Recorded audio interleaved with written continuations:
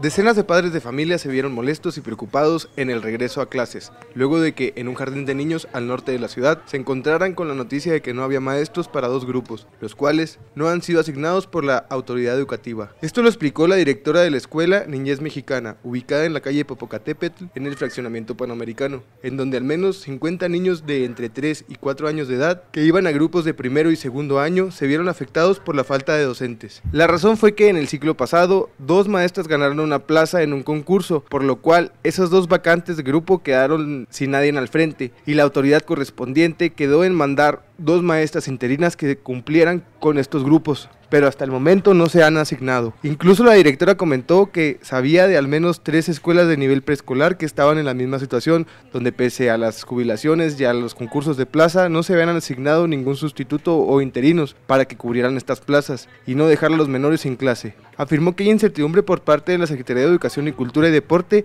ya que definió calendarios y esquemas de operaciones, en tanto que la Secretaría de Educación Pública ya asignó las plazas a los maestros que pasaron el examen de oposición. Ante esto, varios padres de familia sostuvieron que habrían de acudir a las oficinas correspondientes para que se les dé una respuesta y no dejen a sus hijos sin escuela, ya que muchos de ellos se integran por primera vez al sistema educativo. Padre.